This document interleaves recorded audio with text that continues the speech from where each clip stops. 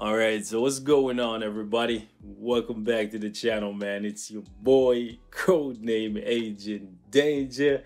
And we gotta talk about this, man, because I'm not even gonna lie to you guys. I'm feeling some type of way. Sneak peek number three just dropped, and it's leaving me with more questions than answers, right? And it seems as though Danny Cool may actually have been right. Well, I'm pretty sure he is, in fact, right, because he's in, you know I'm saying, the inner circle. So when he said, right, we should stay tuned for more information in regards to sneak peek number two in the new year, right? It may actually have been completely correct because Sneak peek number three just dropped, and we still have no idea what this trailer meant, why Iron Man, Captain America, and Black Widow are wanted, basically branded as villains, and how that relates to the Warriors of the Sky. Because sneak peek number three is, again, throwing us for a loop, right? Completely out of nowhere. It is basically a uniform for a character that didn't need a uniform. So we got to talk about this, man, because I know right away a lot of you guys are feeling some type of way. I'm excited, but at the exact same time, I'm disappointed. And I'm hoping that if we are indeed getting a uniform for this character, it takes her in a whole new direction. And it's not just making her, I would say, 5 or 10% better at what she was already good at. So, sneak peek number three right here. And the message goes Greetings, agents. This is CM Fragment of the Marvel Future Fight team. Other characters are also working hard in order to help our agents in the new year. I saw them training day in and day out. One character that stands out is a well-known agent. Who do you think owns the shield and the spear or the spear and the shield? And you see right here, there's this image. It looks like a shield and a spear in a coliseum. It looks pretty cool. If anything, I would really like if this was a new game mode, right? A new PvP Coliseum game mode, or maybe this was a rework for battle world, a rework for I don't know alliance battle, alliance tournament, not definitely not alliance conquest. This this doesn't feel like alliance conquest, but Coliseum, right? We fight in a Coliseum in Battle World. We fight in a Coliseum in Alliance Battle, and we do we do need right a rework for those game modes. However, I think that's just reaching. I don't think they're gonna be reworking those but it would be really really interesting if this sneak peek was just more than a uniform right anyways the rest of the message goes if you know who owns these weapons please enter the correct answer in the link below and basically all you have to do is just copy paste this and enter sharon rogers and you'll be presented with this image right here now as you can see it is sharon rogers sporting a brand new look right? Looking like something out of like Spartacus, right? Looking like something out of 300. This is Sparta. This ain't Marvel Future Fight. And I know right away some people are going to be like, oh my goodness, really? A third uniform for Sharon Rogers. Really? Not what we needed at this point in time. And I am 100% behind all of you guys, right? Even the biggest whale will agree that Sharon Rogers didn't need a uniform. We need uniforms for people like Ghost Rider, Blade, you know what I'm saying? Drax, Gamora, characters that's been at the bottom for like five years or going close to five years. We don't need a uniform for Sharon Rogers, a character that's already, I would say, top 20, easily top 15, maybe even top 10 for PvE content. One of the highest damaging characters in the game. What direction will they take her in with this uniform, right? That's my question here what makes this uniform different than the two that she got before? If it's just going to make her 5 or 10% better for World Boss Ultimate or GBR or ABX, this is a pointless uniform, as beautiful as it may look. If anything, I would really like it if they fixed some of the core problems that was wrong with Sharon Rogers, like for example, her forward skill shooting her laser beam or her whatever, like over the head of the boss or the beast in ABX in some instances, or I would really like it if they give her some things that she was missing from her kit to begin with, like a heal, right? And possibly look into making Sharon Rogers a PvP character in this uniform so as to not shit on the people who spend a lot of resources getting the other uniform to Mythic. I would have loved it. I would absolutely love it if they actually made this a PvP uniform for Sharon Rogers to make it so that not only do you still need and will you still use the Dark Star armor that many people bought because it is a fantastic uniform, but then there would be a need for this one as well, right? This one would just be a PvP uniform that adds stuff like fracture, iframe, ignore, not necessarily the high burst damage that we know and love for World Boss Ultimate content, but just a lot of survivability and a lot of PvP tools built into it. That's what would be really cool to me in regards to this uniform right here. Not 5 or 10% more damage for World Boss. I know some of you guys are not going to agree with me. You're going to say, you know what? I didn't pick up the Dark Star armor, so this is perfect for me, right? I can pick this up now and I can just go ahead with that. But the thing is, ultimately, that doesn't solve the problem that I have, right? Sharon Rogers got a uniform again, and she didn't need one. There's other characters, plenty 30, 40, 50, 60, 70, 80 characters in the game easily that needed a uniform more than she needed one. So why they decided to give another uniform to Sharon Rogers here is just beyond me. And I get it, right? It's an update for the Warriors of the Sky, their original characters, so it it fits thematically to give Sharon Rogers a uniform because she's also an original character, so she can fit in with there. She can lead them, right? Because she's the OG basically, so she can guide the newcomers on their quests, right? And I guess that's why they're going for this old school uniform because I guess the Warriors of the Sky they're like mythical creatures or whatever from back in the day. But man, even though this fits and in my head, right, it makes sense as to why Sharon Rogers is getting a uniform right now.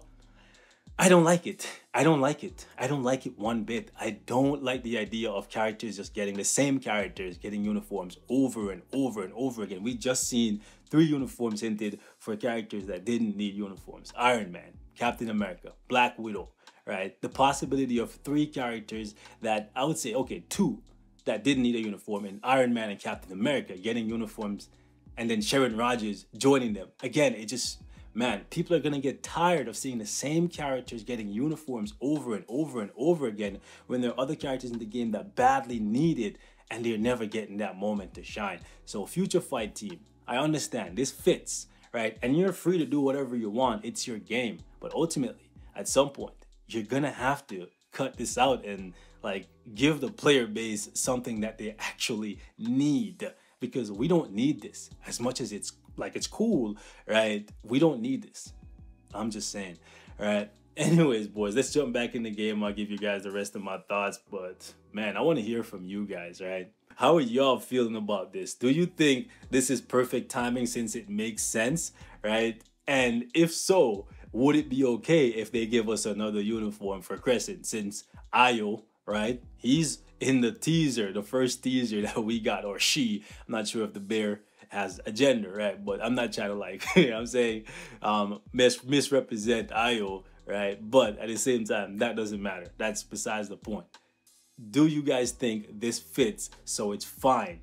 Where some of the other characters, like for example, if they came out of nowhere and gave a uniform to, I don't know, somebody like Yellow Jacket or Whiplash or one of these trash characters that's been at the bottom forever, right? It wouldn't make sense. It wouldn't really fit in as much as we needed, right? Sharon Rogers, though, she doesn't need it. so I'm just kind of confused, guys. I want to hear from you guys, man. And I hope to God or whatever you guys believe in, right? I'm, I'm praying that it's not just another uniform that makes it so that we play her the same way where we just three absorb damage five proc or four proc or three cancel, five cancel, four proc, right? And just basically do the same thing with her that we've been doing. I'm hoping that that's not the case here because if that if that's what it is, you know what?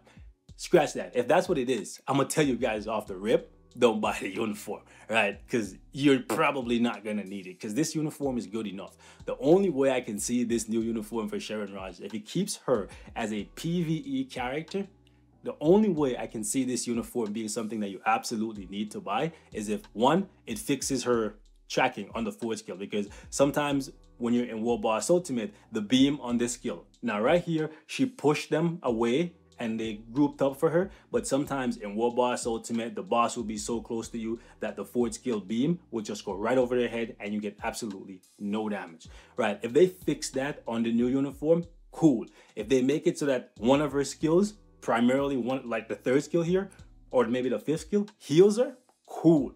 then we're talking. Then it might be a must buy. But if everything is the same and they just bump up the damage numbers a little bit, it's hard. It's a hard sell. It's a hard sell for me, right? I'm gonna buy it as a content creator just so I can compare it to what she had previously, right? But to tell people to buy it when it's basically just like five or ten percent more power, I don't know. I don't know if I can do that. Like my integrity, everything that I stand for, I realistically could not and will not do that. So I'm hoping that whatever they decide to do with this new uniform that she's going to get, it gears her more towards PvP, right? Same thing that I wanted them to do with um, Luna Snow, which didn't end up happening. I'm hoping this time it actually happened because Luna Snow didn't need another PvE uniform. Now we seen that she got def definitely got a lot better from this to this, right? She got the defense down on her forward skill. The skill is now safer than it was previously, so it's an upgrade. And they could very well do the same thing for Sharon Rogers, whereas with Luna Snow, you already have heal built in, so that's not a problem for her. The thing is, man, I don't want to see them repeat the same pattern over and over. Same characters don't need uniform, get uniform. They get changes that really matter, so it makes sure that you kind of want to go buy the uniform.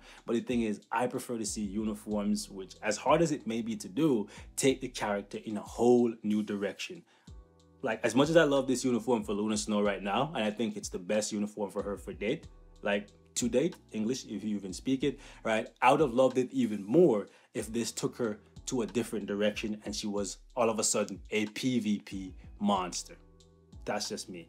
Anyways, boys, we're gonna wrap it up right here. Thank you guys so much for watching. I just wanted to share my thoughts really quickly, right, in regards to Sharon Rogers and this new uniform. As much as I like it, because I love Spartans, and I'm saying I love the 300, I love all that, and the old school look on the uniform looks really, really cool. To go from like this, a space armor type deal for Sharon Rogers, to something like just a, a loincloth, a shield, and a spear, it looks really dope not something I ever thought I would see for Sharon Rogers. Like, cause even her base form, right, still looks high tech. So to see her going old school, it looks really cool. But man, she didn't need another uniform, so I feel some type of way, and I can really feel for the free-to-play players who probably picked up this uniform on Black Friday, right? They got it to Mythic, and then here comes another uniform for Sharon Rogers, possibly stronger than this one. Now they have the dilemma of should I buy that one? Should I not? Because next year there might be another update that gives her a fourth uniform. You know what I'm saying? Like, man, this has to stop at some point at some point, I'm pretty sure there's still characters in the game. I really need to go back and look. I'm pretty sure there are characters in the game right now that have zero uniform, right? and we have characters like Sharon Rogers getting a third when she's already in the top 10. Like, what? I need to go check. I'll check that out my own time, but I'm pretty sure there's at least one character in the game that has no uniform. It's been a while since I checked. But anyways, actually, I can find one right now. Sin. Trash character trash character, pure garbage, has some really good future potential because of her four star. I know this is not about her. Actually, well, one of you guys did mention to me that uh, Black Widow uniform could be for Sin, and that would be dope. That would be really, really dope, right? And you guys mentioned that the Captain America uniform could be for Crossbones. So I'm not reaching too, too far off topic here. That would be really cool because she has a sick, absolutely amazing four star passive. I love this thing right? When she gets debuffed, she removes debuffs for 10 seconds and buffer attack by 30%, right? This is really, really cool. And she's a character that I think needs a uniform way more than Sharon Rogers needs a new one. That's just me. Again, I know I said the video was over, but I just want to give you guys my perspective and where I'm coming from and why, even though I love a character like Sharon Rogers, she's free to play, so you can't really hate on that, right? I think she doesn't need a new one. I think a character like Sin, a character that has been at the bottom since release, needs one way more than Sharon Rogers needs a third uniform. If you feel differently, hit me in the comments, hit me on Discord. We can chop it up as always. Until next time, stay safe. I love y'all. Peace out.